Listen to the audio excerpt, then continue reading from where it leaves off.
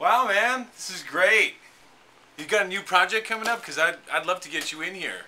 That would be amazing, but I've got to do this movie thing first. Oh, oh, yeah? So you got this acting guy playing you? Uh, no, it, it's just that I'm gonna teach him guitar lessons, I guess. Oh. Well, when you're free, let's cut some wax. I don't know if I can afford it. So you're going basement tapes? That's a shame. Yeah.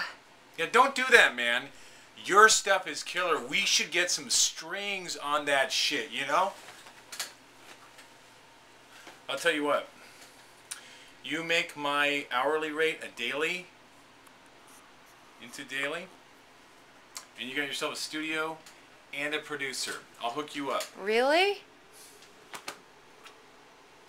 Word of honor.